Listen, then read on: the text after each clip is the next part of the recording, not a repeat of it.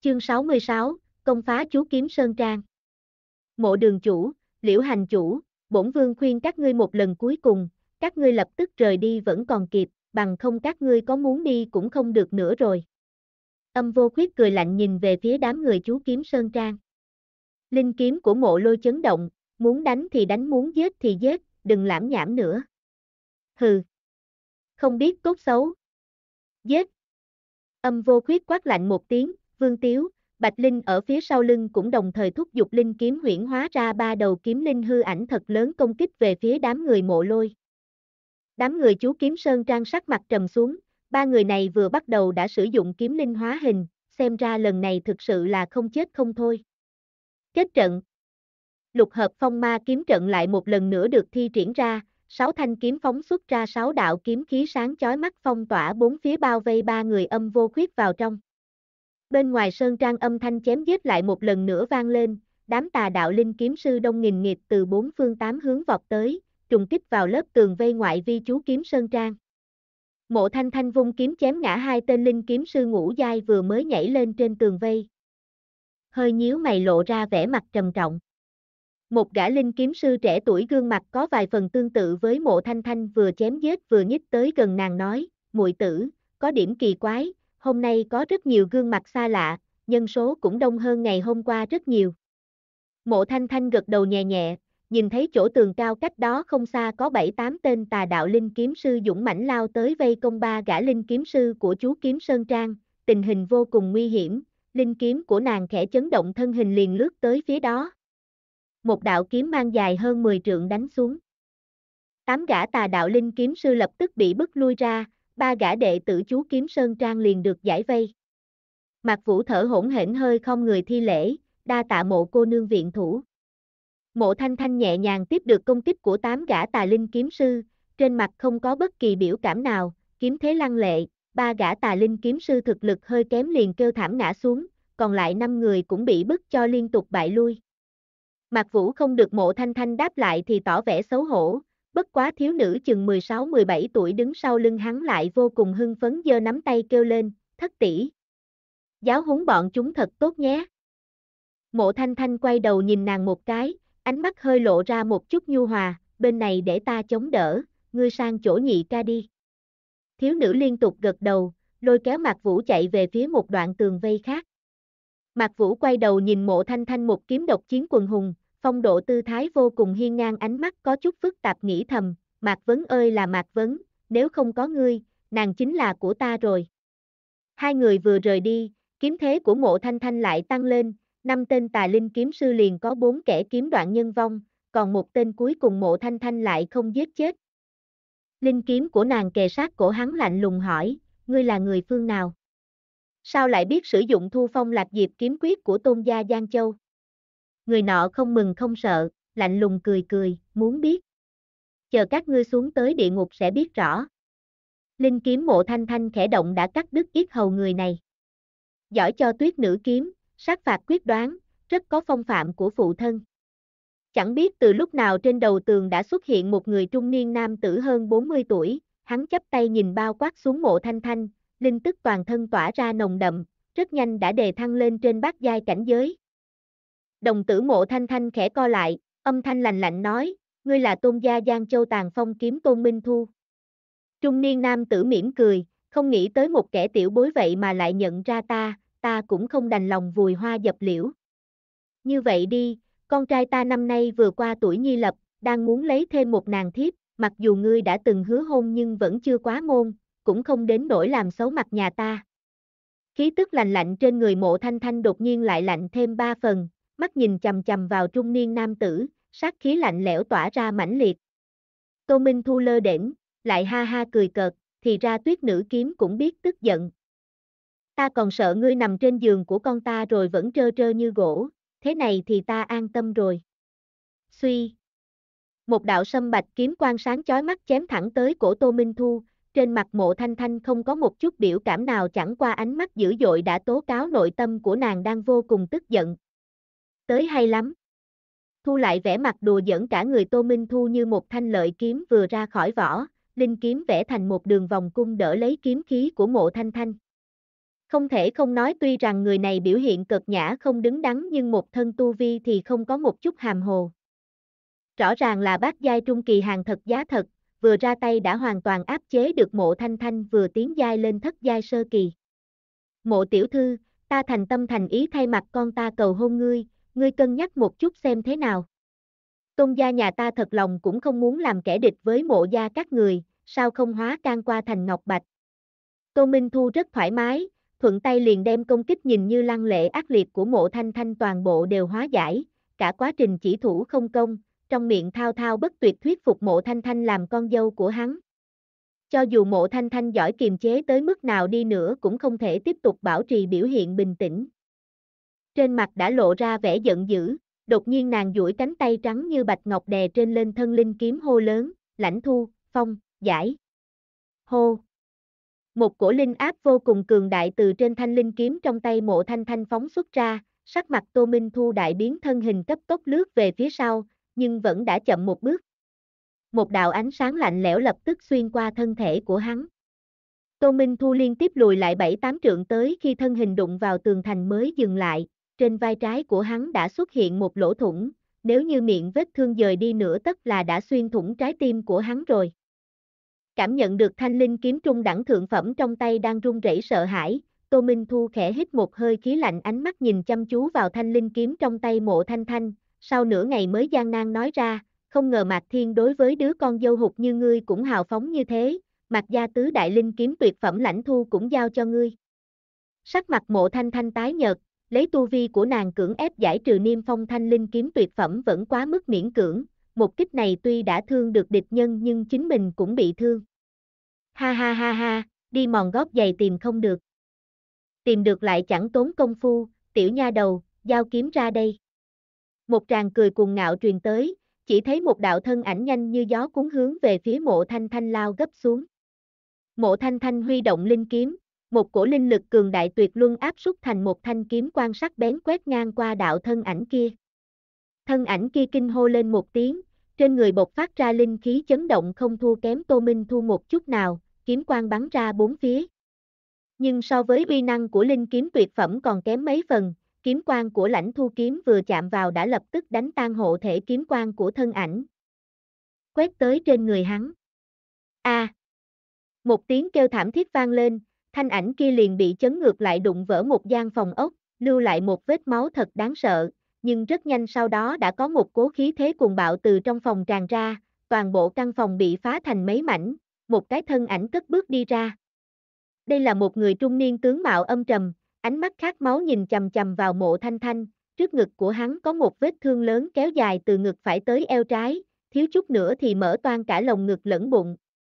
Xú nữ nhân. Phong ma ta nhất định phải đem ngươi hành hạ bảy ngày bảy đêm. Sau đó lột da của ngươi làm khăn trải giường cho hả giận. Tô Minh Thu khẽ nhíu mày quát, phong ma. Nàng là con dâu tương lai của ta, ngươi nổi điên thì đi tìm nữ nhân khác đi. Phong ma khặt khặt cuồng tiếu, họ tôn kia, tà vương nhà ta tìm các ngươi hợp tác các ngươi lại tự cho rằng mình là đại nhân vật A. Hôm nay kiếm này là của ta, người cũng thuộc về ta. Vừa nói xong, toàn thân phong ma đã được một đầu thương lan kiếm linh cực lớn bao bọc lại, một lần nữa hướng về phía mộ thanh thanh lao tới. Khóe miệng mộ thanh thanh rỉ máu, không nói một lời dơ kiếm chém ngang. Oanh! Kiếm linh của phong ma bắt đầu tan rã nhưng cuối cùng vẫn kiên trì tiếp được một kiếm này. Mà mộ thanh thanh bị lực phản chấn cực mạnh đẩy văng về phía sau, thân hình đụng vào một hòn giả sơn, lại phun ra một nguồn máu tươi nữa, toàn thân vô lực ngã xuống. Xú nha đầu, ngươi chẳng qua vừa mới bước chân vào thất giai linh kiếm sư, linh kiếm tuyệt phẩm nằm trong tay ngươi thì phát huy được bao nhiêu uy lực. Chết đi cho bổn tọa. Cánh tay phong ma khẽ động, thương lan kiếm linh cực lớn gào thét đánh về phía mộ thanh thanh, đem thân thể của nàng hất văng ra phía sau hòn giả sơn, linh kiếm trong tay cũng bị đánh bay đi.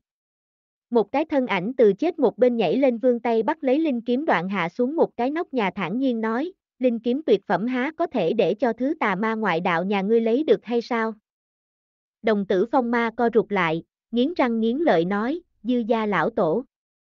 Dư lão lạnh lùng liếc mắt nhìn hắn một cái, thân thể khẽ động đá lướt đi ra ngoài, căn bản không thèm để ý đến hắn, rất nhanh đã biến mất ở chỗ sâu bên trong chú kiếm sơn trang. Phong ma tức giận điên cuồng hét lên một tiếng, huy kiếm chặt đứt vài hòn non bộ cao mấy chục trượng ở xung quanh, vương tay trảo một cái đem kiếm linh huyễn hóa ra cuốn lấy mộ thanh thanh đang nằm ngất trên mặt đất đoạn nắm lấy cổ nàng lộ ra vẻ âm tàn, đều tại tiện nhân này.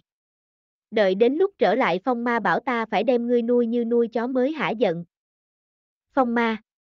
Tên điên kia, mau thả người. Tô Minh Thu lướt tới gầm lớn. Phong ma lạnh lùng liếc hắn, muốn người, tới phong ma bảo của ta mà lấy. Nói xong thân thể khẽ động, hướng phía xa lao đi. Đồ điên. Nàng là người lôi châu mộ gia. Ngươi không sợ lão tổ của bọn họ tới hủy phong ma bảo của ngươi. Tô Minh Thu gọi lớn nhưng phong ma cơ bản là chẳng thèm quan tâm, lập tức đã không còn bóng dáng. Tô Minh Thu dậm chân một cái cũng lướt đi ra ngoài. Gan Châu Tôn Gia. Du Châu Dư Gia. Các ngươi lại dám cấu kết với tà đạo vây công chúa Kiếm Sơn Trang, lẽ nào không sợ thiên hạ chính đạo phỉ nhổ? Một tên bác giai linh kiếm sư chú Kiếm Sơn Trang kinh sợ nhìn qua một đám đẳng cấp cao linh kiếm sư mới xuất hiện chửi rủa. Ha ha, chú Kiếm Sơn Trang đã sắp tới hồi diệt vong, đây chính là xu thế tất yếu, người nói tới thiên hạ chính đạo lại càng buồn cười, chẳng nhẽ chúng ta lại đi phỉ nhổ chính mình. Một tên bác giai linh kiếm sư dư gia cười ha hả, liên hợp với một gã bác linh kiếm sư tôn gia điên cuồng tấn công. Tên bác giai linh kiếm sư kia vốn đã bị thương, bây giờ lại bị hai tên cường giả cùng giai liên thủ vây công rất nhanh đã không thể chống đỡ được nữa, hộ thể kiếm linh nháy mắt đã tan vỡ cả người bạo lộ dưới kiếm phong của hai tên kia. Phát ra một tiếng gào thét bi phẫn, cả người hắn đã bị kiếm khí chém trời, máu huyết tung bay khắp trời. Ngũ trưởng lão Đám đệ tử chú kiếm Sơn Trang ở xung quanh thống khổ hét lớn, nhưng càng ngày càng có nhiều linh kiếm sư phe địch lao tới rất nhanh đã che lấp tất thảy. Mạc Hư một bên vừa vận chuyển lục hợp phong ma kiếm trận một bên chú ý tới tình huống chiến trường lúc này không nhịn được phun ra một nguồn máu tươi, dư gia. Tôn gia. Đám tiểu nhân hèn hạ vô sĩ các ngươi. Mạc Hư lão nhi, ngươi âm thầm cướp đoạt cơ nghiệp chú kiếm Sơn Trang thì cao thượng lắm sao? Dư gia lão tổ cùng với tôn gia lão tổ đồng thời hiện thân bên ngoài lục hợp phong ma kiếm trận. Nhìn qua sáu người ở trong kiếm trận mặt mũi cả hai tràn đầy vẻ trào phúng. Bên trong kiếm trận, âm vô khuyết hừ lạnh một tiếng, tại sao hai người các ngươi bây giờ mới đến? Nhanh ra tay phá trận, chỉ cần chế ngự được sáu người này chú kiếm sơn trang tự nhiên sụp đổ. Dư lão cười nhạt một tiếng, như ngươi mong muốn. Dư lão, tôn lão hai tên cửu giai linh kiếm sư đồng thời ra tay, hai đạo kiếm quang sáng chói đánh vào phía trên lục hợp phong ma kiếm trận. Đám người mộ lôi như bị điện giật, toàn bộ đại trận nhanh chóng tan rã, sáu người đồng thời thổ huyết ngã xuống. Lục hợp phong ma kiếm trận mặc dù cường đại nhưng rõ ràng cũng có khuyết điểm. Từ phía bên ngoài công kích liền có thể dễ dàng phá trận. Khuyết lục kiếm vương tiếu cười lớn chém một kiếm về phía mộ lôi, mấy ngày nay bị vài tên bác giai linh kiếm sư dây dưa kéo dài trong lòng hắn đã chất đầy một cổ lửa giận rồi. Dư lão nhướng mày, chém ra một đạo kiếm khí trực tiếp đánh tan kiếm quan của Vương Tiếu. Dư lão nhi. Ngươi có ý gì? Vương Tiếu trợn mắt nhìn. Dư lão hừ nhẹ một tiếng, dư gia chúng ta còn không muốn tuyên chiến với lôi châu mộ gia. Ngươi. Lửa giận trong lòng không thể phát tiết Vương Tiếu liền chuyển hướng ra tay với hai người Mạc Hư, Mạc Bình, vậy ta chém bọn hắn. Nhưng lúc này lại bị tôn lão ra tay ngăn cản. Các ngươi có ý gì đây?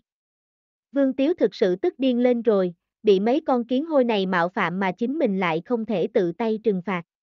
Bọn họ là cao tầng trong chú kiếm Sơn Trang, ngươi giết bọn chúng rồi chúng ta làm sao tìm được tứ linh đồ với linh kiếm tuyệt phẩm. Tôn lão thản nhiên nói.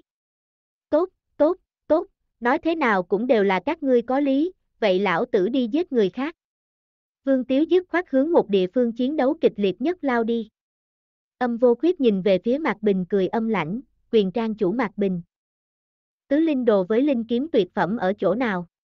Ngươi tự mình lấy ra là tốt nhất, bằng không hôm nay ta cũng không ngại khiến cho chú kiếm sơn trang máu chảy thành sông. Mạc Bình đến nay đã 80 tuổi, chính là người lớn tuổi nhất trong sơn trang, lão bị lục hợp phong ma kiếm trận cắn trả, bản thân bị trọng thương giờ phút này dứt khoát khoanh chân ngồi nhắm mắt dưỡng thần, coi mấy tên cửu giai linh kiếm sư trước mặt như không thấy. Không nói hả? Khóe mắt âm vô khuyết lóe lên một tia tàn khốc, tam đệ, để cho hắn nhận biết một chút uy danh của bạch cốt kiếm đi. Bạch Linh mỉm cười tiến lên. Linh kiếm trong tay nhanh chóng vũ động, từng đạo kiếm khí mảnh như tơ lập tức bao phủ toàn bộ cánh tay trái của Mạc Bình. Huyết vụ tung bay, trong khoảnh khắc cánh tay trái của Mạc Bình cốt nhục chia lìa, huyết nhục toàn bộ đã bị đánh bay lộ ra xương cẳng tay trắng héo. Ách! Mạc Bình kêu trên một tiếng, toàn thân kịch liệt run rẩy, gương mặt già nua kịch liệt vặn vẹo vì đau đớn, nhưng vẫn kiên quyết không nói một câu. Hỗn đảng! Mộ lôi gầm lên một tiếng, gắn gượng đề thăng kiếm khí chém về phía Bạch Linh, Bạch Linh hừ lạnh một tiếng tiện tay đánh nát kiếm khí của mộ lôi đồng thời phát ra một đạo kiếm khí đâm vào lồng ngực của hắn. Đánh hắn bay ra ngoài, toàn bộ lồng ngực đã thành một mảnh huyết nhục mơ hồ, triệt để mất đi chiến lực. Đại ca! Liễu Thanh Lâm hét lớn một tiếng lướt tới đỡ lấy thân thể của mộ lôi. Bạch Linh lạnh lùng cười nhạt, không có kiếm trận các ngươi chẳng khác gì một bầy kiến hôi. Đừng tưởng rằng ngươi là gia chủ lôi châu mộ gia thì ta không dám giết ngươi, cùng lắm thì lần sau chúng ta sang băng lôi vân kiếm đường của các ngươi. Nói xong nhìn về phía mặt bình cười âm trầm, quyền trang chủ suy nghĩ thế nào rồi? Nếu vẫn còn chưa nghĩ ra chúng ta có thể từ từ nghĩ, ngươi vẫn còn một cánh tay phải với hai chân A. Sắc mặt mạc bình chuyển thành xám trắng, nhắm chặt hai mắt không nói một lời. Ngươi, lão già này. Bạch Linh giận dữ, đang muốn tiếp tục động thủ lại bị dư lão ngăn lại. Dư lão nhi, các ngươi có ý gì? Chẳng lẽ không cần tứ linh đồ nữa hả? Trong mắt Bạch Linh lóe ra sát cơ lành lạnh, hai lão nhân này thật sự khinh người quá đáng. Dư lão dường như cũng hiểu được mình hơi quá phận, vôi vàng ho khan một tiếng giải thích, trên đời này có một loại người có thể vì lý tưởng trong lòng mà coi thường sinh tử của bản thân, ngươi cho dù có cạo hết huyết nhục trên người hắn cũng không thể khiến hắn mở miệng đâu. Lông mày Bạch Linh cao lại, vậy ngươi nói phải làm thế nào? Dĩ nhiên phải bắt đầu từ những thứ hắn muốn bảo vệ mà đánh tới rồi. Dư lão thâm ý sâu sắc nói. Bạch Linh hơi sững sờ sau đó cất tiếng cười lớn, khó trách tà đạo chúng ta nhiều lần bị chính đạo các ngươi chèn ép, hai chữ ngoan độc này chúng ta tự thẹn không bằng. Sắc mặt hai người dư lão cùng tôn lão hơi mất tự nhiên, hừ nhẹ một tiếng. Người đâu, dẫn tất cả người sống tới đây. Bạch Linh kêu lớn một tiếng. Từng tên đệ tử chú Kiếm Sơn Trang bị bắt giữ nhanh chóng được dẫn vào lần lượt, tổng cộng khoảng chừng hơn trăm người. Bạch Linh khẽ đảo mắt qua đám tù binh này, cuối cùng dừng lại ở trên người một gã trẻ tuổi khóe miệng hắn nhếch lên tươi cười như hoa nở mùa xuân. Hắn ra vẻ suy nghĩ nhìn thoáng qua Mạc Hư ở cách đó không xa nói, Mạc Hư phó trang chủ, quyền trang chủ của các ngươi không muốn nói, ta có thể cho ngươi một cơ hội, ngươi yên tâm, chỉ cần ngươi phối hợp ta có thể thả cho nhất mạch các ngươi một con đường sống, gia nhập vào bạch cốt bảo chúng ta.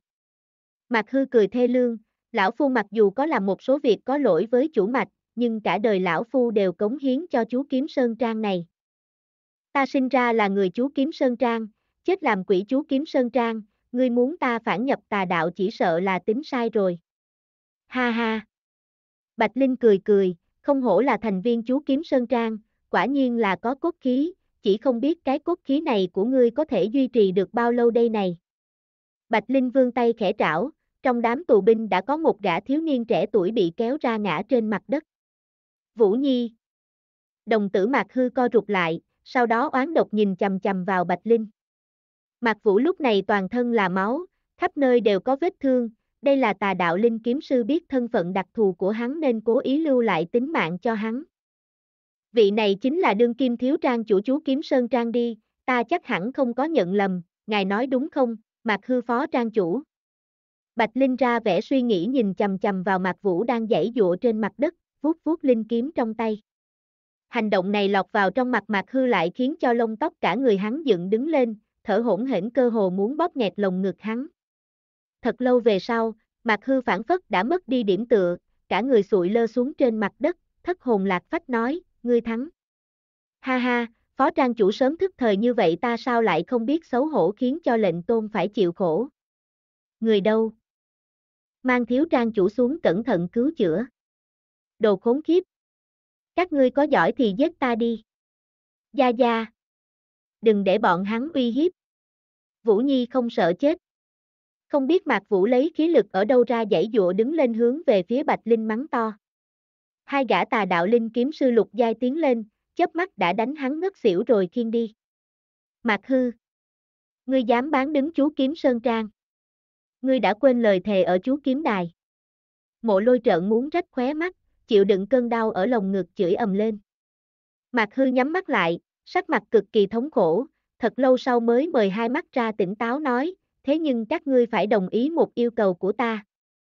Tuổi nhi lập, tuổi xây dựng sự nghiệp, Trung Quốc có câu tam thập nhi lập chắc nói con của Tô Minh Thu đã qua 30. Quá môn, về nhà chồng, ý nói mộ thanh thanh có đính hôn nhưng chưa là hôn lễ, chưa gả đi. Hóa can qua thành Ngọc Bạch, Ngọc Bạch là Ngọc và lụa ý nói bỏ vũ khí giảng hòa biến chiến tranh thành hòa hảo. Chương 67, Thiêu Tâm Bạch Linh cân nhắc nhìn Mạc Hư, yêu cầu gì? Sơn trang bất kỳ vật gì các ngươi cũng có thể lấy đi, nhưng không được thương tổn một gã Sơn trang đệ tử nào nữa. Ánh mắt Mạc Hư lóe lên sắc bén, lão hung dữ bảo, nếu không lão phu tự sát ngay. Được, không hổ là phó trang chủ chú kiếm Sơn Trang, ánh mắt Bạch Linh lộ ra một tia tán thưởng, được ta chấp nhân yêu cầu này chỉ cần bọn họ buông kiếm không chống cự. Chúng ta sẽ không tổn thương một người. Mạc hư thần sắc trên mặt hơi thả lỏng, trầm giọng nói, ta sẽ đưa các ngươi đi. Khuôn mặt năm tên linh kiếm sư cửu giai thoáng một nét vui mừng, nhưng vào lúc này phía hậu sơn sơn trang có một luồng linh khí khổng lồ đang khuấy động, thiên địa linh khí đang hội tụ dày đặc, tạo thành một mảng mây mù mà mắt thường có thể thấy được. Linh khí chấn động thật mạnh này là có người tấn cấp linh kiếm sư cửu giai. Năm tên linh kiếm sư cửu giai nhất tề biến sắc, ngưng trọng vạn phần nhìn về phía hậu sơn. Đám người mộ lôi có chút kinh ngạc, sau đó trên mặt lộ vẻ mừng như điên. Là tam đệ. Tam đệ muốn xuất quan. Âm vô khuyết hừ mạnh một tiếng, chỉ là một gã vừa mới tấn cấp linh kiếm sư cửu giai mà thôi, ta ở đây chờ gã ra. Nhìn vào dị tượng thiên địa linh khí nồng đậm như thế này, dư lão cùng tôn lão sắc mặt lại có điểm trầm trọng. Tôn lão có ý muốn nhắc nhở đám người âm vô khuyết, nhưng bị dư lão dùng ánh mắt ngăn trở, khẽ lắc đầu nhẹ. Tôn lão hiểu ý cũng không nói thêm gì nữa, mà thân hình hai người vừa động không thấy dấu vết gì đã lùi ra phía sau nửa bước. Hai lão tách khỏi đám người âm vô khuyết và bạch linh, đứng ra xa. Dị tượng phía sau núi cũng không tiếp tục bao lâu. Đám mây linh khí trên bầu trời bỗng nhiên co rút lại, toàn bộ hạ xuống phía sau núi. Ngay sau đó một cổ chấn động mạnh, linh khí khuếch tán ra thật lớn, bao hết cả ngọn núi phía sau. Hai thân ảnh từ xa dường như đang chạy thật nhanh tới hướng này, người đi đầu, trên đầu đầy tóc trắng. Trông có vẻ già nua nhưng lại rất thâm trầm, khuôn mặt có thể miễn cưỡng nhận ra là Mạc Thiên năm đó. Trên người lão phóng xuất ra một cổ cường đại, khí tức thật làm người ta kinh hãi, nhưng lại nổi lên một cổ khí tức như sắp tàn thu. Một gã toàn thân áo đen, hình dáng giống Mạc Thiên, là một linh kiếm sư. Toàn thân khí tức cũng đạt đến bát giai, đang nhắm mắt theo sau lưng Mạc Thiên. Tam đệ. Mạc Lôi và Liễu Thanh Lâm không dám tin vào hai mắt của mình, người này là anh em kết nghĩa của họ so ra còn thua mấy tuổi thế mà giờ đây lại già nua hơn hai chục tuổi. Người này cúi xuống dáng vẻ già nua rõ ràng cho thấy mệnh nguyên khô cạn, không còn sống được bao lâu nữa. Một thân ảnh từ đằng xa cực nhanh hướng hai người Mạc Thiên lướt tới, thanh âm thật cuồng ngạo truyền khắp cả chú kiếm Sơn Trang, ngươi là Mạc Gia Trang chủ. Ha ha nguyên lai là lão già sắp chết, huyết lục kiếm vương tiếu ta hôm nay sẽ mượn cái đầu của ngươi. Người chưa đến, kiếm khí bén nhọn mang theo mùi huyết tinh rung chuyển trời đất đã đến, như muốn xóa tan đi vạn vật. Sắc mặt Mạc Thiên bình tĩnh nhìn đạo kiếm khí, thân ảnh di chuyển nhẹ nhàng nói ra hai tiếng, thiêu tâm. Một cổ chấn động kỳ dị xuất hiện, vương tiếu kiếm quang trong khoảnh khắc liền sụp đổ, cùng lúc toàn thân gã đột nhiên bao quanh bởi ngọn lửa hừng hực, cuốn lấy gã lao thẳng xuống phía dưới. A, à, Kiếm khí của ta! Kiếm khí của ta sao lại không thể khống chế được thế này? Vương Tiếu điên cuồng lăn lộn dưới mặt đất, như muốn dập tắt ngọn lửa trên người. Nhưng thiêu đốt hắn lại chính là kiếm khí của mình nên làm sao có thể dập tắt dễ dàng được. A, à! Giết! Giết! Giết! Vương Tiếu khàn cả giọng gào thét lên, điên cuồng chém ra từng đạo kiếm khí dài hơn 10 trượng, nhưng tâm tình của gã càng không khống chế được. Ngọn lửa bùng cháy lan ra khắp người, quần áo lẫn da lông đều bị thiêu đốt, cả người nhìn như một ngọn đuốc sống. Nhị đệ! Nhị ca! Âm vô khuyết và Bạch Linh không thể giữ được bình tĩnh nữa. Chúng hoảng sợ nhìn tam đệ đang vùng vẫy giải chết trong ngọn lửa, nhưng cả hai đều bất lực. Toàn bộ chú Kiếm Sơn Trang bao gồm cả Linh Kiếm Sơn tà đạo cùng con cháu hai nhà. Trên đầu đều bốc lên từng luồng khí lạnh, cảm giác như da đầu tê dại, chắc hẳn bọn họ chưa bao giờ gặp qua cảnh tượng đỉnh cấp linh kiếm sư cửu giai mà có kết cục thê thảm như vậy. Dẫn tâm hỏa thiêu đốt. Chẳng nhẽ hắn đã thực sự luyện thành thiêu tâm chi thuật. Công lão và dư lão sắc mặt trắng bệch, hiện hai lão chỉ muốn quay lưng chạy trốn, cảnh tượng mấy chục năm trước như muốn diễn ra. Âm vô khuyết và Bạch Linh đồng thời chạy tới, hai người đều muốn xuất ra linh kiếm áp chế ngọn lửa trên người của Vương Tiếu, nhưng dường như Vương Tiếu đã mất đi lý trí. Gã nhìn thấy cả hai chạy tới. Lập tức tấn công điên cuồng không chút do dự, giống như cùng hai người có mối thù không đội trời chung vậy. Nhị đệ. Ngươi làm gì vậy? Ta là đại ca của ngươi đây. Âm vô khuyết lớn tiếng gầm lên, muốn dùng sóng âm làm thức tỉnh lý trí của Vương Tiếu, nhưng lại không hề có tác dụng, ngược lại làm gã càng trở lên điên cuồng.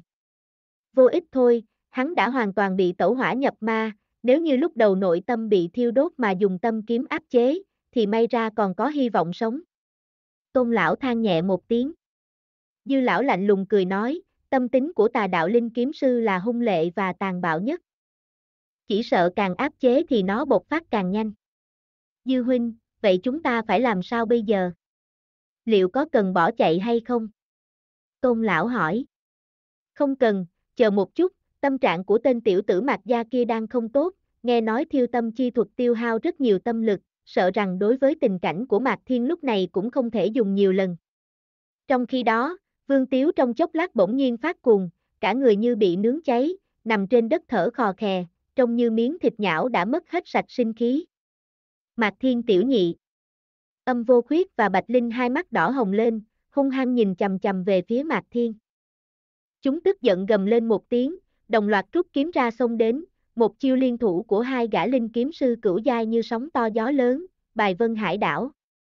Nhưng không ngoài dự tính, thân thể hai người vừa nhảy lên, kiếm quang xung quanh toàn thân bất ổn, cuối cùng chợt biến mất, một ngọn lửa vô hình từ trong cơ thể chui ra. A! Âm vô khuyết điên cùng hét lên một tiếng, râu tóc đều dựng đứng lên, dựa vào tu vi hùng hậu của mình tạm thời áp chết kiếm khí đang thiêu đốt trong cơ thể. Mà vận khí của Bạch Linh lại không được tốt như vậy, tu vi của tên này vốn thấp hơn âm vô khuyết một bậc. Không thể áp chế nổi tâm hỏa, kiếm khí đã bạo phát toàn thân, bị tẩu hỏa nhập ma. Mạc Thiên tiểu tử. Ta giết ngươi. Âm khí trên người âm vô khuyết như biến mất trong nháy mắt, một đầu bạo long xuất hiện, hư ảnh đại xà khổng lồ biến ảo từ kiếm linh mà ra, lao về phía Mạc Thiên định cắn nuốt. Mạc Thiên vẫn không di chuyển, phía sau lưng lão xuất hiện một thân ảnh hắc y, toàn thân phóng ra cổ kiếm quang sáng chói, không do dự lao về phía đại xà do kiếm linh biến thành. Hoành! Hư ảnh đại xà của kiếm linh tan vỡ, nhưng thân hình hắc y nhân cũng như diều đứt dây, bay thẳng về phía sau, rơi vào trong tòa biệt viện. Một kích của âm vô khuyết không có kết quả, tâm hỏa vừa mới áp chế trong cơ thể lại bùng phát, khiến y vội vàng áp chế. Sau đó y ôm lấy Bạch Linh vẫn đang bị tâm ma khống chế, nhanh chóng rút lui. Vừa chạy vừa để hai tay sau lưng Bạch Linh, trợ giúp tên này áp chế tâm hỏa. Dư Lão Nhi Công Lão Nhi Hai người các ngươi còn muốn xem cuộc vui đến khi nào nữa? Âm vô khuyết tức giận quay sang nơi tôn lão cùng dư lão ẩn nấp quát lên một tiếng. Hai lão nhân liếc nhìn nhau, quát lớn, tên tà ma ngoại đạo này đừng mong mê hoặc người khác, chúng ta là thiên hạ chính đạo, làm sao có thể cùng với bè lũ tà đạo các ngươi kết bạn. Hợp tác với các ngươi cũng chỉ là mưu kế của bọn ta thôi. Chu Huynh Lý Huynh, Hoa Huynh, các ngươi không xuất hiện đi còn đợi đến bao giờ nữa. Ha ha ha ha. Chúng ta chờ đợi ở đây đã lâu rồi. Lập tức bốn cổ linh áp khổng lồ của linh kiếm sư cửu giai bay đến, lập tức hướng về phía trong sơn trang đuổi theo. Tiếng hò hét trung trời cũng theo bốn phương tám hướng truyền đến, một tên mặc trang phục chính đạo dẫn theo nhân thủ hai nhà xông vào sơn trang, tổ chức đánh giết tà đạo linh kiếm sư, mà số nhân thủ linh kiếm sư còn lại đang lưỡng lự cũng quyết tâm, quay sang tấn công tà đạo linh kiếm sư. Tà đạo linh kiếm sư nhất thời không kịp ứng phó, trong khoảnh khắc bị tổn thất nghiêm trọng. Liên tiếp thất bại. Bốn lão giả cùng nhau lao đến từ bốn hướng vây âm vô khuyết và bạch linh lại, thực lực đều là cửu giai sơ kỳ linh kiếm sư. Trong lòng âm vô khuyết cuồng nộ, thiếu chút nữa là tẩu hỏa nhập ma, ánh mắt y âm độc nhìn chầm chầm vào bốn người, nghiến răng nghiến lợi nói, Dương Châu Chu Gia, Hứa Gia, Vân Châu Lý Gia. Liên minh chính đạo tứ châu phương Nam đã đến đông đủ, các ngươi quả nhiên là giỏi tính toán. Là tại ngươi quá ngây thơ thôi. Dư lão thản nhiên nói, ánh mắt hiện rõ ra vẻ thương hại. Âm vô khuyết cười thảm một tiếng, không. Là ta không nghĩ tới các ngươi tự xưng là chính đạo lại vô sĩ như vậy. Các ngươi bắt tay nhau âm mưu đoạt bảo. Đáng tiếc, tứ linh đồ chỉ có một bộ, linh kiếm tuyệt phẩm cũng chỉ có bốn thanh, không biết các ngươi định chia cho lục gia như thế nào đây. Sắc mặt của sáu gã lão giả biến hóa, tôn lão hừ lạnh một tiếng, ngươi không cần dùng kế ly gián, chia như thế nào là chuyện của chúng ta, tên ma đầu nhà ngươi sắp chết đến nơi rồi mà còn không biết hối cải. Giết nó đi. Bốn gã linh kiếm sư cửu giai vừa tới lập tức ra tay, bốn đạo kiếm quang sáng chói phóng ra vây kín không có kẻ hở. Âm vô khuyết dường như cũng tự biết y không thể nào trốn thoát được. Nên cũng không ra tay mà chỉ ngửa mặt lên trời cười to, lưới trời tuy thưa nhưng khó lọt, hôm nay âm vô khuyết ta chết ở đây Âu cũng là báo ứng. Nhưng những kẻ tiểu nhân hèn hạ các ngươi có thể thoát được báo ứng hay sao? Yên tâm đi, ta sẽ ở trên trời dõi theo các ngươi. Kiếm quan tiêu tán, âm vô khuyến và Bạch Linh bị bốn đạo kiếm khí khủng bố kia diệt sát. Hai đứa trực tiếp bốc hơi, ngay cả một chút dấu vết cũng không lưu lại. Một tên lão giả hừ một tiếng, bầu trời hả? Ngươi là ma đầu, sau khi chết chỉ có đường xuống địa ngục, còn muốn lên trời hay sao? Tam đại tà đạo đã chết. Những chiến trường khác trong Sơn Trang, tà đạo linh kiếm sư bị liên quân lục gia dồn vào mấy tòa đình viện. Nhân thủ bị giết vô số, chuyện diệt sát chỉ còn là vấn đề sớm hay muộn. Tình thế của chú kiếm Sơn Trang biến hóa làm người ta hoa mắt, xa xa là sáu gã linh kiếm sư cửu giai đang nhìn về phía Mạc Thiên. Mạc gia chủ, chúng ta đã giúp Quý Trang diệt trừ hết tà ma ngoại đạo, Quý Trang cảm thấy nên cư xử thế nào? Dư lão cao giọng nói. Sắc mặt Mạc Thiên lạnh như băng hỏi, các ngươi muốn ta phải thế nào? Tứ linh đồ, linh kiếm tuyệt phẩm, ngoài ra Quý Trang còn giao nộp tất cả loại trung phẩm linh kiếm. Tất cả tuyệt phẩm khoáng mạch, tất cả sách quý về kiếm quyết, đúc kiếm bí pháp, sau đó đưa Mạc Gia xuống phía nam của Bổn Châu. Hóa ra là muốn ta giao mấy trăm năm cơ nghiệp của Mạc Gia, các ngươi nghĩ rằng điều đó có thể chăng? Sắc mặt Mạc Thiên lạnh lùng nhìn sáu tên tự xưng là chính đạo thái đẩu một cách ghê tởm. Dư lão mỉm cười, xem ra Mạc gia chủ không muốn giải quyết trong hòa bình, vậy thì đành xin lỗi rồi. Bá bá bá. Trên trăm đầu thân ảnh xuất hiện bốn phía bao quanh Mạc Thiên, tất cả đều là linh kiếm sư lục giai. Hơn 100 người tạo thành một kiếm trận lớn, bao vây Mạc Thiên chặt chẽ. Dư lão nghiền ngẫm nhìn qua Mạc Thiên, đây chính là 108 thiên la địa võng kiếm trận chuẩn bị vì Mạc gia chủ. Ta biết rõ Mạc gia chủ hiện thời đã tu luyện thành công thiêu tâm bí thuật, nhưng không biết ngươi có thể thi triển được mấy lần. Mạc Thiên hừ lạnh một tiếng, ngươi có thể thử xem. Vừa nói dứt lời, từng tiếng kêu thảm thiết lập tức vang tới, hơn 10 tên linh kiếm sư lục giai đứng gần Mạc Thiên đều xuất hiện hỏa diễm. Chúng bị tâm hỏa thiêu đốt, lập tức tẩu hỏa nhập ma. Bày trận. Giết. Những tên linh kiếm sư lục giai này rõ ràng đã được lục gia huấn luyện thành tử sĩ. Đối mặt với thảm cảnh của đồng bọn đều lộ ra vẻ thờ ơ, những người còn lại lập tức vận chuyển kiếm trận đánh về phía Mạc Thiên.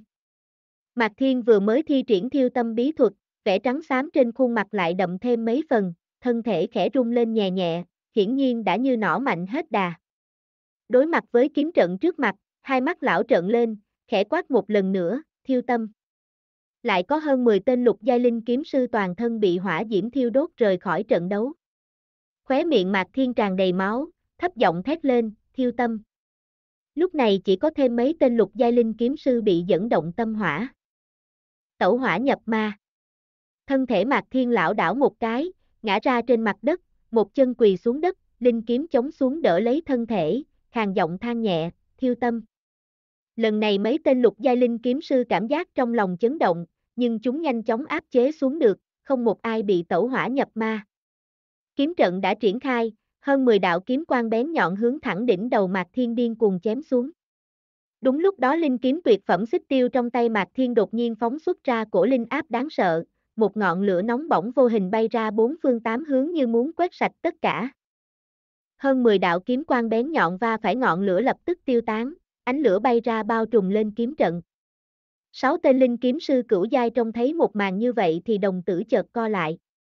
Tôn lão giận dữ hét lên, hắn bị thương như vậy mà còn dám sử dụng tất cả linh lực trong linh kiếm tuyệt phẩm. Thật đúng là một tên điên. Làm như vậy chẳng khác gì phế bỏ đi linh kiếm.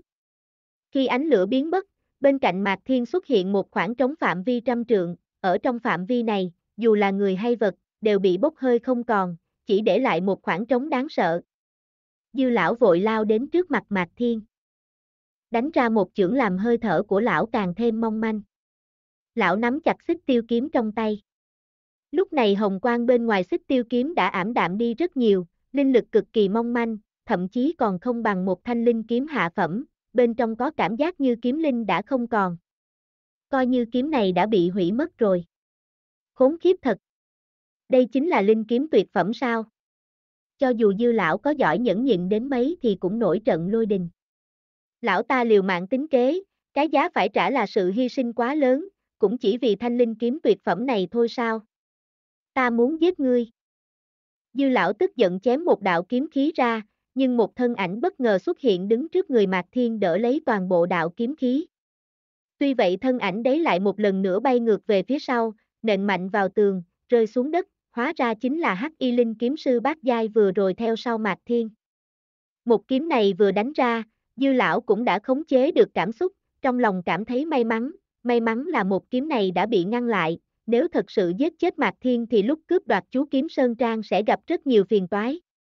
Người đâu? Đánh gãy tay chân toàn bộ người của chú kiếm Sơn Trang. Phế bỏ đan điền, sau đó nhốt vào địa lao. Mặt khác áp giải tất cả cao tầng trong Sơn Trang đến phòng nghị sự. Dư lão lớn tiếng ra lệnh. Dư huynh, mộ gia và liễu gia nên giải quyết sao bây giờ? Tôn lão đi tới hỏi. Dư lão thoáng suy nghĩ một chút, hai nhà này trước đây luôn im lặng, việc chúng ta làm cũng chỉ vì chú kiếm Sơn Trang, không cần phải gây quá nhiều thù oán. Mấy lão bất tử của hai nhà này rất khó đối phó. Ai đó? Đứng lại. Một tiếng quát sợ hãi đột nhiên từ xa truyền đến, tiếp theo đó là từng tiếng kêu thảm thiết, âm thanh liên tiếp từ xa nhanh chóng tới gần. Bịch. Một cổ thi thể từ trên cao rơi xuống. Hiện lên trước mặt bọn người dư lão, hai mắt đang trợn lên nhìn bầu trời, có máu phun ra ở khí quản bị đứt, như là bị giả thú cắn. Đột ngột có một thân ảnh không biết từ khi nào đã đứng ở trên nóc nhà phía xa, như là đứng hóng gió, ngoại trừ một nửa khuôn mặt đã bị chiếc mặt lạ màu bạc che khuất, thì những bộ phận còn lại đều có thể thấy, có thể loáng thoáng đoán được người này là một thanh niên không quá 20 tuổi. Bọn người dư lão con mắt mãnh liệt co lại, với linh giác của bọn chúng vậy mà không hề cảm ứng có người tới gần. Thế nhưng cái người thần bí đột nhiên xuất hiện kia trên người lại không hề có dao động của một linh kiếm sư. Phía xa liễu thanh lâm đứng cùng mộ lôi hỏa thương thở vào nhẹ nhõm, cuối cùng cũng vượt qua rồi. Mộ lôi kinh ngạc liếc mắt nhìn liễu thanh lâm hỏi, người này là ai, ngươi biết hắn sao? Liễu thanh lâm đột nhiên hô hấp đình trệ, chỉ ậm ừ quanh co hai tiếng rồi thôi.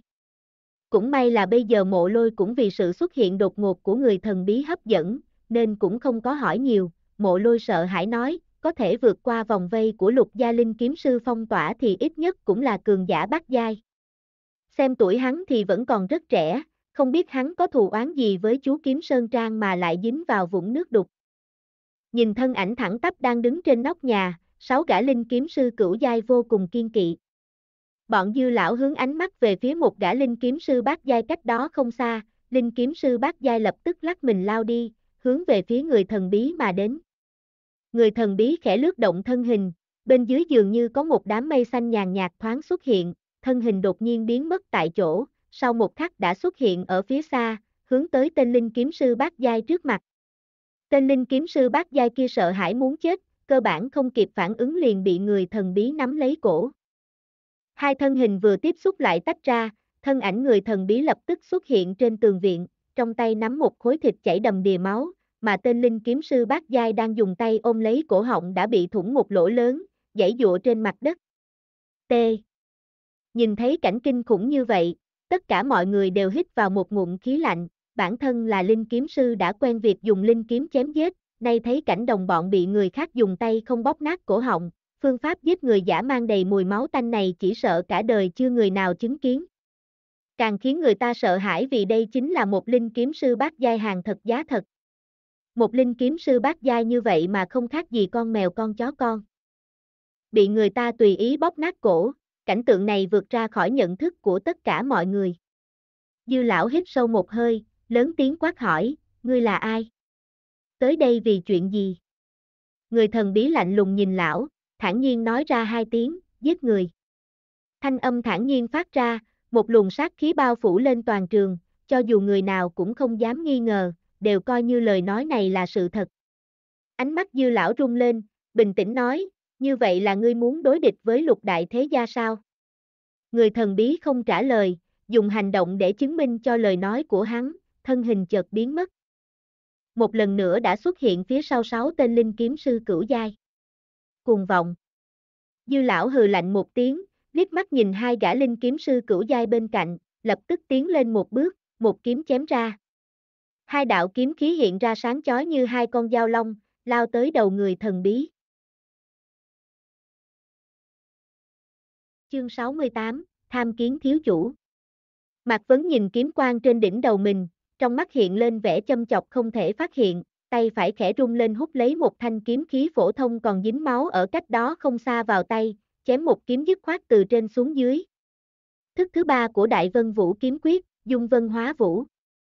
Giờ phút này Mạc Vấn thi triển kiếm thức này càng thêm xuất chúng, nhẹ nhàng thoải mái, kiếm mang đen huyền to lớn như một dòng chảy màu đen quét ngang trời, kiếm mang mà hai tên linh kiếm sư cửu giai sơ kỳ phát ra trong vỡ tan trong nháy mắt, tiếp đó, kiếm mang màu đen này vẫn tiếp tục đánh lên hai người mà khí thế không hề suy giảm.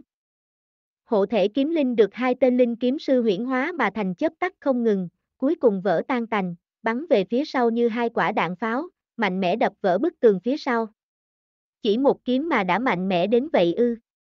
Toàn trường lại một lần nữa rung động, bốn tên linh kiếm sư còn lại trong đó có dư lão bất giác lùi lại nửa bước, sâu trong mắt hiện ra vẻ kiên kỵ.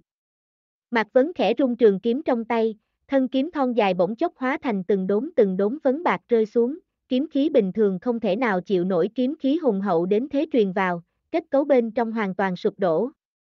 Hắn lại vẫy tay, một thanh kiếm khí phổ thông bắn lên khỏi mặt đất rơi vào trong tay rồi lạnh lùng liếc bốn người một cái.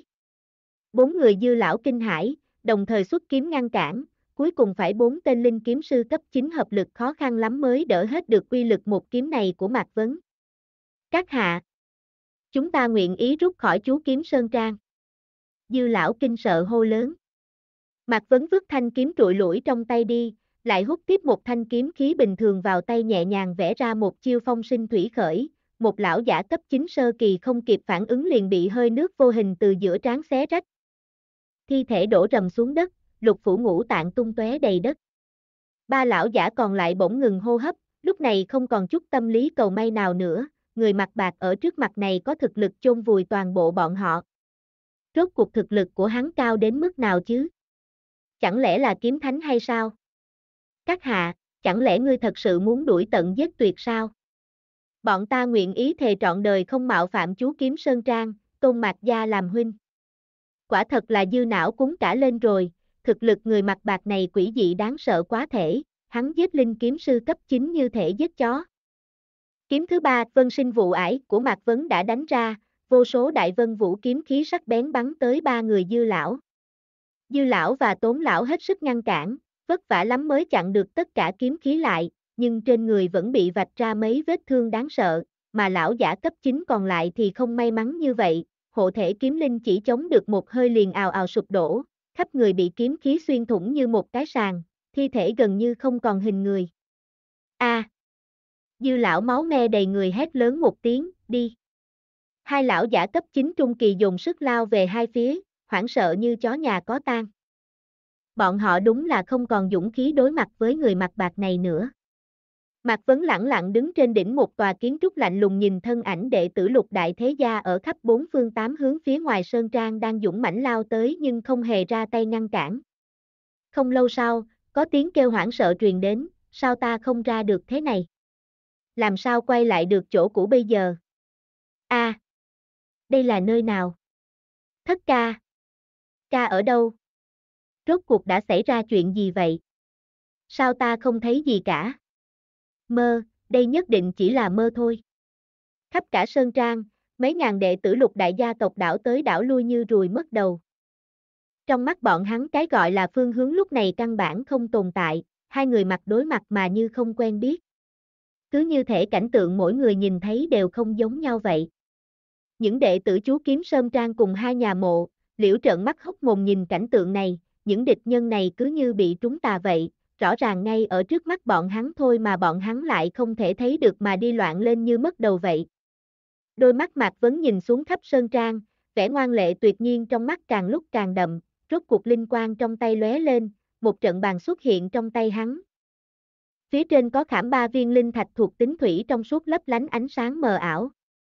Mộ lôi và liễu thanh lâm giật mình kinh dị nhìn về phía Mạc Vấn ở phía trên kiến trúc. Hắn muốn làm gì vậy? Liễu Thanh Lâm hỏi. Ta cảm giác có một luồng sát cơ vô cùng mãnh liệt, chắc là hắn muốn. Mộ lôi lẩm bẩm nói.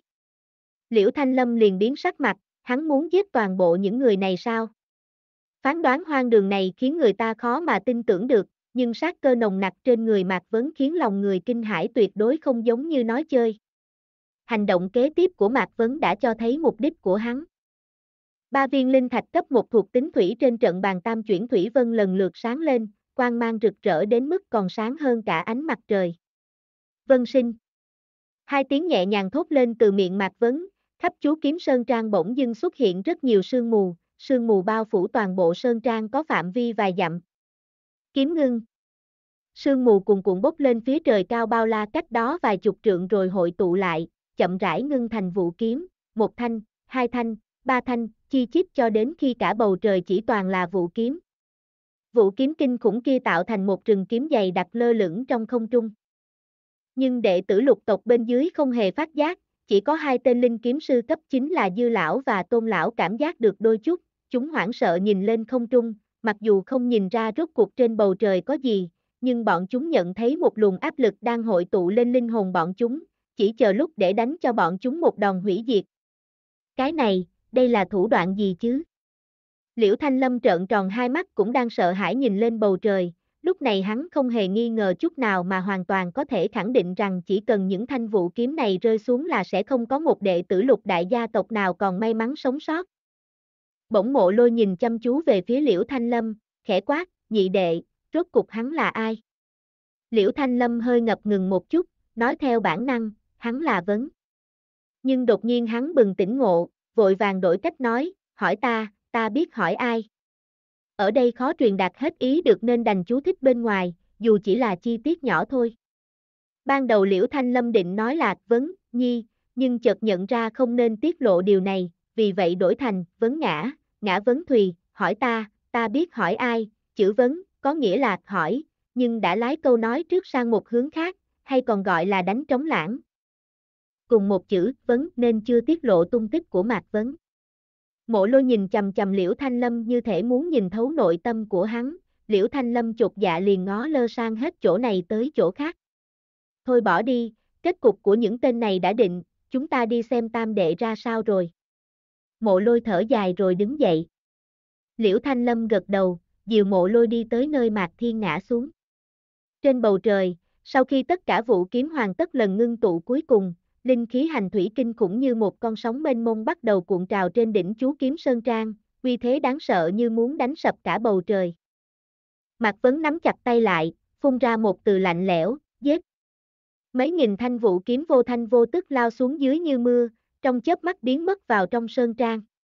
Trong khoảnh khắc, tiếng thét thê lương thảm thiết vang dội khắp sơn trang, mấy nghìn người đồng thời bị vũ kiếm xuyên thủng thân thể, cướp đi sinh cơ, cùng lúc đó phát ra tiếng kêu thảm thiết cảnh tượng đáng sợ như vậy chẳng khác nào luyện ngục chốn nhân gian. Tiếng kêu thảm thiết xuất hiện nhanh chóng, biến mất cũng nhanh chóng như thể bị người ta mạnh mẽ cắt đứt, khoảng 4, 5 ngàn người cùng lúc đó bị mất mạng ngay tại trận. Máu tươi gần như nhuộm đỏ từng góc sơn trang.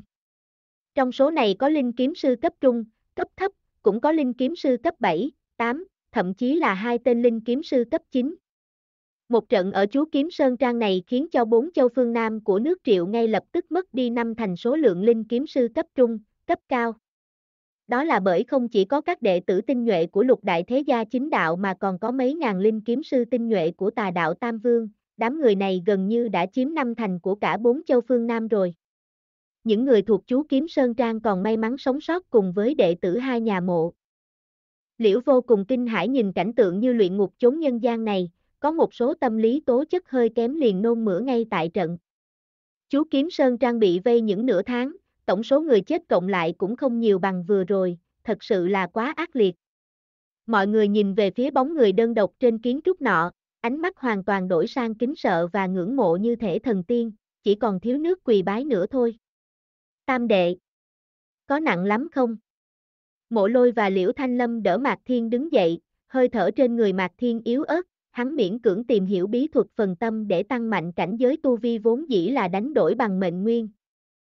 Vừa rồi lại liên tiếp miễn cưỡng thúc giục phần tâm, mệnh nguyên đã sắp sửa khô kiệt. Tam đệ, tội tình gì ngươi phải làm thế? Dù ngươi không nghĩ cho đệ muội thì cũng phải suy nghĩ cho mạc gia chứ. Ngươi làm vậy.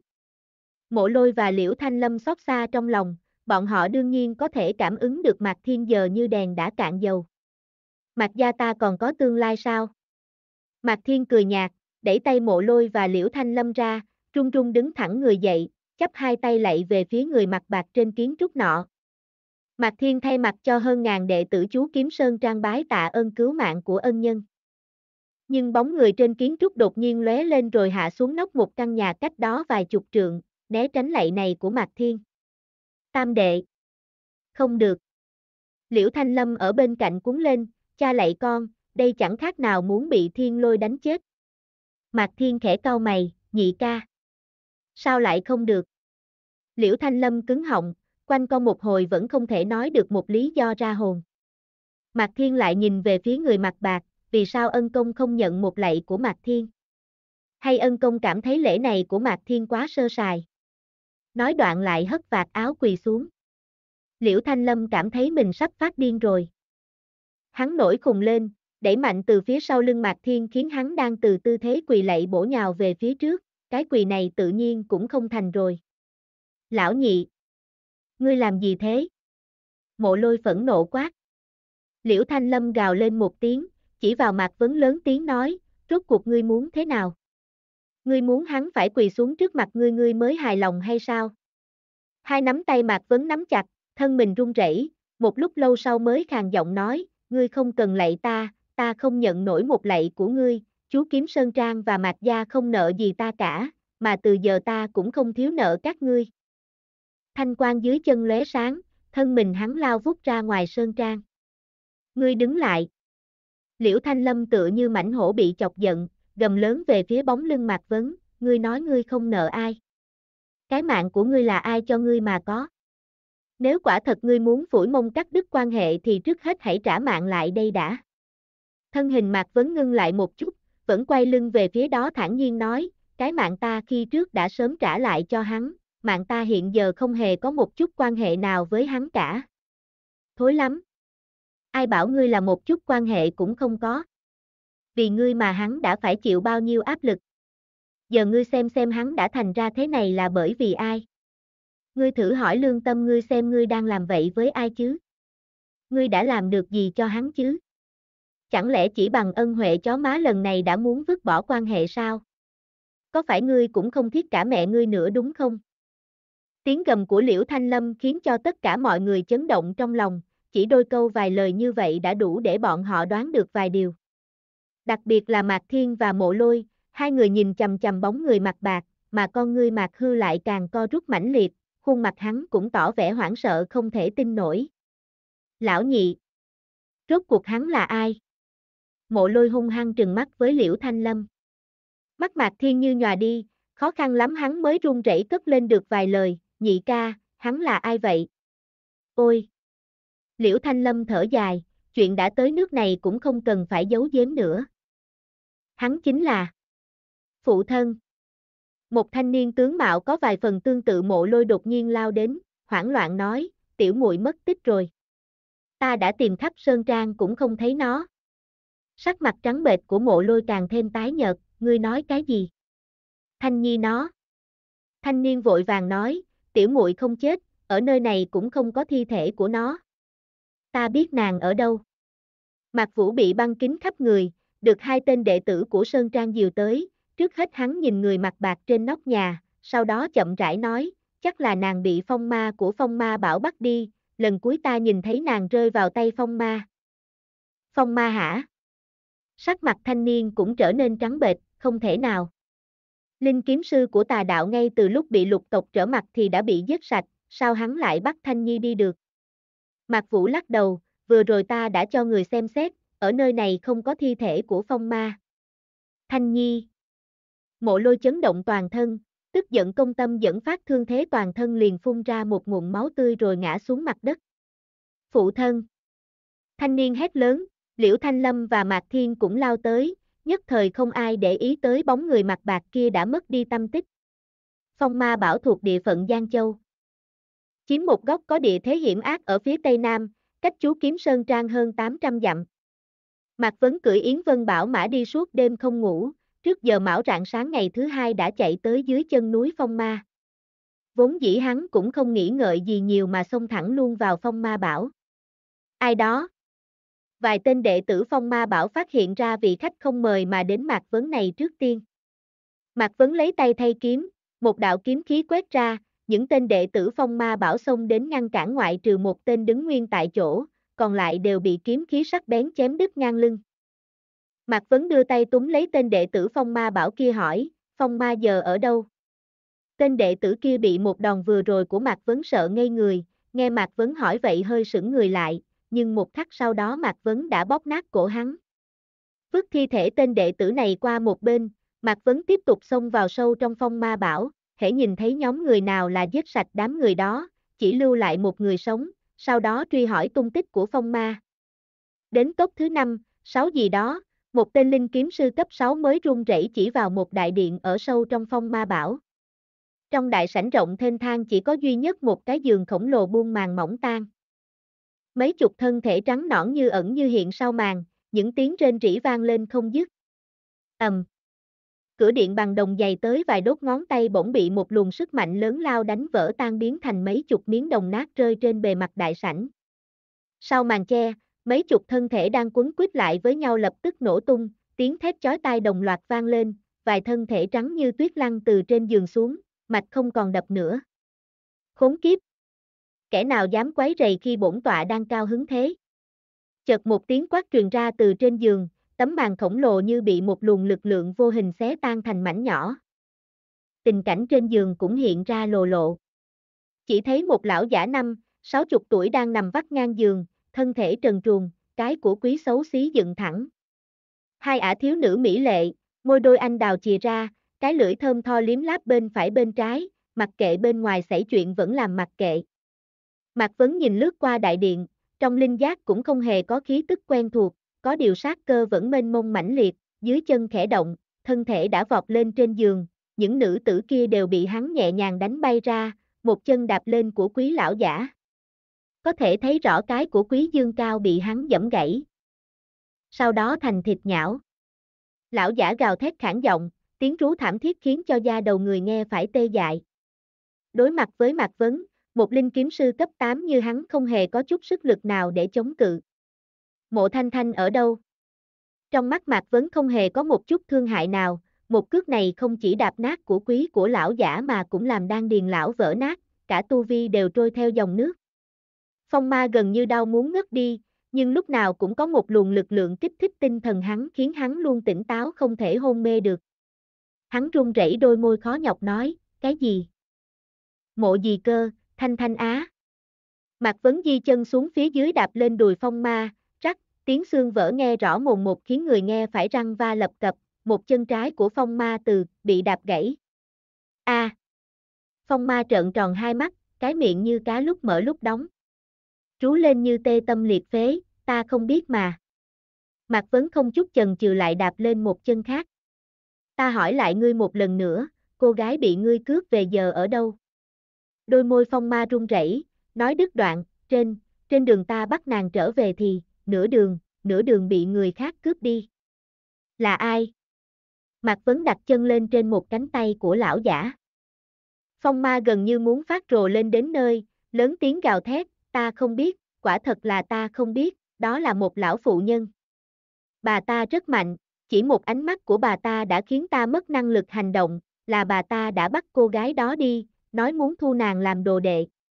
Ánh mắt Mạc Vấn âm tình bất định, bên chân đang dơ lên rốt cuộc rút ra khỏi cánh tay phong ma, lóe một cái thân thể đã xuất hiện ở cửa đại điện, có điều trong khoảnh khắc hắn biến mất, một đạo kiếm khí phá không bay tới chém đứt lìa cổ phong ma. Mạc Vấn lại lần tìm từng góc một khắp cả phong ma bảo nhưng cũng không phát hiện bóng dáng mộ thanh thanh. Bấy giờ hắn mới thở vào nhẹ nhõm, cuối cùng cho một mồi lửa đốt trụi phong ma bảo. Khi đang cưỡi trên Yến Vân Bảo Mã, Mạc Vấn lâm vào trầm tư, lão phụ nhân, mạnh đến mức chỉ cần một ánh mắt đã đủ khiến cho linh kiếm sư cấp 8 mất đi năng lực hành động, thu đồ đệ, sâu chuỗi những đầu mối này lại thì có vẻ như cũng không phải mộ thanh thanh gặp phải nguy hiểm mà là gặp được một kỳ ngộ. Mạc Vấn không biết vì sao lúc này lại trở về chú kiếm Sơn Trang, nhìn Sơn Môn đã được tu sửa lại, hắn trầm mặt một lúc lâu, cuối cùng dắt ngựa đi tới. Két. Cổng lớn của Sơn Trang tự động mở ra. Từng đội từng đội kiếm sư mặc trang phục của chú kiếm Sơn Trang đi ra, mấy trăm người xếp thành hàng chỉnh tề đứng trước Sơn Môn quỳ một chân xuống trước Mạc Vấn, thuộc hạ tham kiến thiếu trang chủ. Mạc Vấn liền biến sắc mặt, định xoay người rời đi, có điều bước chân định bước đi rốt cuộc cũng không đặt nổi xuống đất, bởi khi hắn nhìn thấy vị phu nhân tóc trắng xóa trước mặt hắn này, tất cả những suy nghĩ rối ren trong lòng cuối cùng chỉ còn một chữ. Mẹ!